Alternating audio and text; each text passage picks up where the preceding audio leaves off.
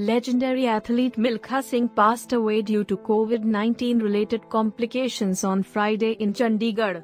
The Flying Sikh was a widely celebrated figure across the country, and with the 2013 biopic titled Bhaag Milkha Bhaag, he had gotten introduced a new generation as well.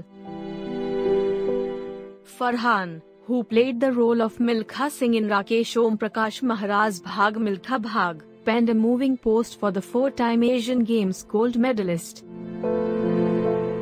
A part of me is still refusing to accept that you are no more. Maybe it's the stubborn side I inherited from you. The side that when it sets its mind on something, just never gives up. And the truth is that you will always be alive. Because you were more than a large-hearted, loving, warm, down-to-earth man. You represented an idea. You represented a dream. You represented, to use your own words, how hard work, Honesty and determination can lift a person off his knees and get him to touch the sky. You have touched all our lives.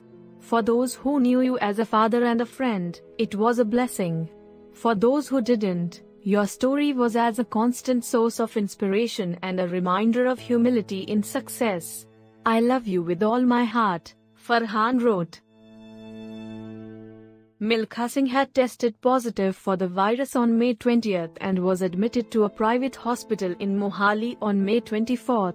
Singh had been discharged on May 30 before he was admitted to the COVID ward at the Nehru Hospital Extension at PGIMER on June 3 due to dipping oxygen levels. News Desk